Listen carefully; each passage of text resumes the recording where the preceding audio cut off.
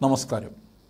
Justice Hema commission report അന്വേഷണം ആരംഭിക്കണമെന്ന് ഹൈക്കോടതി bench ആവശ്യപ്പെട്ടപ്പോൾ കേരളത്തിലെ മെഗാ സ്റ്റാറുകളിൽ നെഞ്ചിടിപ്പ് വർദ്ധിച്ചുകൊണ്ടിരിക്കുന്ന ഈ സമയത്ത് അവരുടെയൊക്കെ വാലുകൾ പി ആർ കളികളുമായി രംഗത്ത് വന്നുകൊണ്ടിരിക്കുകയാണ്.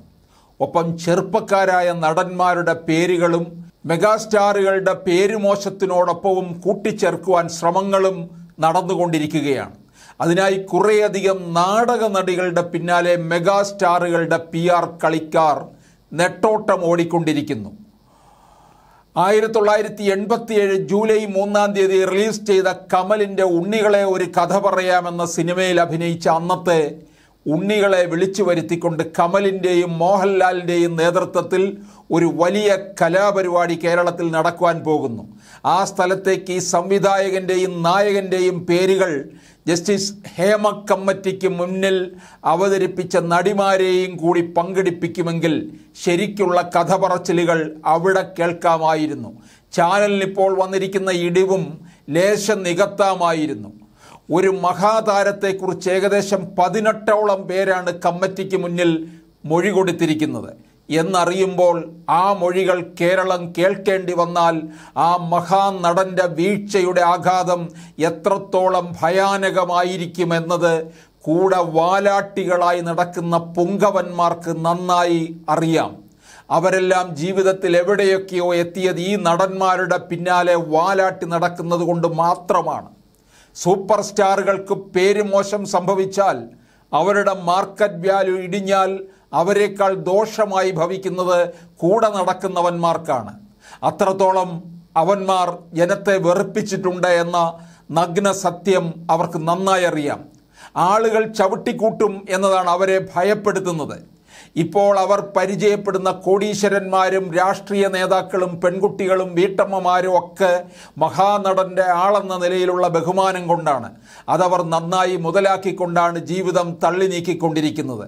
അവരുടെ പേരിൽ ഗ്രീൻ ചാനലുകളിലൂടെ സ്വർണം ഡോളറൊക്കെ കടത്തിയിരുന്ന ബിരുദന്മാർ വരെ തലസ്ഥാനത്ത് വിലസിയിരുന്നു. അവരുടെ കൂടെ ദുബായിൽ നിന്നും ഖത്തറിൽ നിന്നും ഒക്കെ പറന്നെത്തിയാൽ കസ്റ്റംസും പോലീസും ഒക്കെ കണ്ണടച്ച് കൊടുത്തിരുന്ന ഒരു കാലമുണ്ടായിരുന്നു ഒപ്പം ഇൻകം ടാക്സ് ഉദ്യോഗസ്ഥരെയും ഇ ഡി ഉദ്യോഗസ്ഥരെയും ഒക്കെ വിളിച്ചു വരുത്തി വേണ്ടതൊക്കെ കൊടുത്ത് കോടികൾ സർക്കാരിന് പറ്റിച്ചുകൊണ്ടിരുന്നവരാണ് ഇവന്മാരൊക്കെ. അവരെല്ലാം ഇപ്പോൾ നെട്ടോട്ടം ഓടുകയാണ്. ഏതെങ്കിലും രാഷ്ട്രീയ പാർട്ടിയിൽ ചേർന്നേക്കാം അല്ലെങ്കിൽ ഏതെങ്കിലും രാഷ്ട്രീയ പാർട്ടിക്ക് പിന്തുണ കൊടുത്തേക്കാം എന്ന വാഗ്ദാനങ്ങളിൽ ഈ ഹേമ കമ്മിറ്റി റിപ്പോർട്ടും സ്വർണക്കടത്ത് കേസ് പോലെ മുങ്ങിപ്പോകാതിരുന്നാൽ മതിയായിരുന്നു. അതിനായുള്ള ഉള്ളറക്കളികൾ തകൃതിയായി നടക്കുന്നുമുണ്ട്. ഒരു ഭാഗത്ത് കാശും പെട്ടികളുമായി വാലാട്ടികൾ ഓടുമ്പോൾ മറുഭാഗത്ത് ഉദ്യോഗസ്ഥരെ സ്വാധീനിക്കാനുള്ള അടവ് നയങ്ങളും നടക്കുന്നു. പൊതുജനം കോടതിയിൽ വിശ്വാസം അർപ്പിച്ചിട്ടുള്ളത് കൊണ്ട് കോടതിയിൽ നിന്നും നീതി ലഭിക്കുമെന്ന് തന്നെയാണ് കരുതുന്നതും. കരൾ സംബന്ധമായ ചികിത്സ നടക്കുമ്പോഴാണ് കോഴിക്കോട്ടെ സംവിധായകന്റെ പേരിലുള്ള വെളിപ്പെടുത്തലുകൾ ജനങ്ങളിലെത്തിയത്.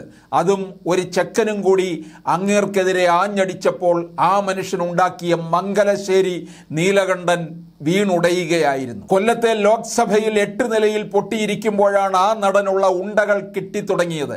കുടുംബത്തിൽ സംഭവിച്ച ആകസ്മിക വിയോഗത്തിന്റെ വിഷമത്തിലൂടെ ജീവിതം നീങ്ങുമ്പോഴാണ് ആ നല്ല സ്വഭാവ നടനുള്ള പണി പാലും വെള്ളത്തിൽ കിട്ടിയത്. ഇതിൽ നിന്നെല്ലാം നാം മനസ്സിലാക്കേണ്ടത് എത്ര ഉയരങ്ങളിൽ സഞ്ചരിച്ചാലും സമ്മാനം വാങ്ങുവാൻ താഴേക്ക് തന്നെ വരേണ്ടി വരുമെന്ന സത്യമാണ്. ഇവരെല്ലാം ആവോളം സുഖിച്ചും അഹങ്കരിച്ചും ജീവിതം നന്നായി വിലസിയിരുന്നു. സ്വർഗവും നരകവും ഈ ഭൂമിയിൽ തന്നെയാണ്.